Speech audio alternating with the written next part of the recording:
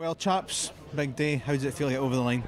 Absolutely uh, ecstatic, delighted for the players, delighted with everybody uh, at the club. It's been a long time in coming. I feel as if it's took ages just to go over the line, uh, despite a magnificent start of the season. So the last couple of weeks have been a wee bit frustrating in terms of dropping points and draws here and there. But I'm absolutely delighted for everybody at the club and the players especially.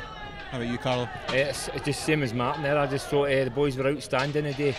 Uh, we started the game with a purpose, and uh, for the very first whistles you seen, there was only going to be one winner today, and it was one of us. Were you amazed by the, how quick a start you made?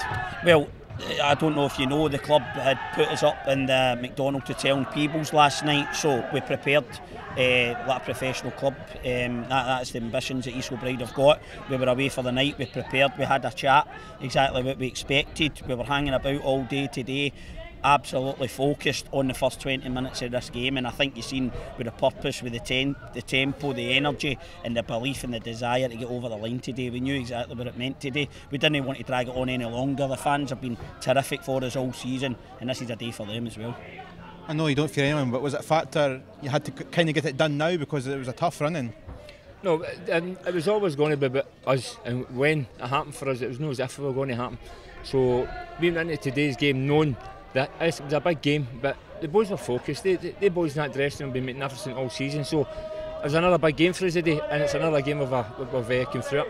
I don't, I know, I don't uh, take any gloss away from tonight. It's going to be a big night, but there's a bit of a wait now to these playoffs, isn't there? Well, we've got an extremely big game next week. We've got a semi-final uh, next week at K Park against Lothian Thistle. So um, we look forward to that. Um, we've got Spartans East Stirling, but no, we've got a terrific squad there. There's maybe a chance for boys that have been playing through the pain barrier to get a wee bit of a rest now, uh, relax before the playoffs. But I don't want to take anything away for these players. We're going to enjoy the night. The playoffs can wait. We're going to enjoy this. We come in at the end of last season.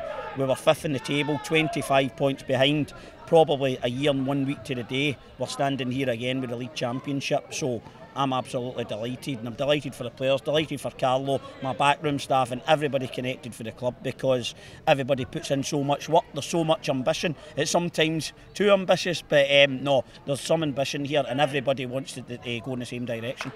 Okay, well, well done to both of you and everyone here. Well done. Thanks, Thanks very, much. very, much. Thank, Thank you. you. Cheers. Thank you. Cheers.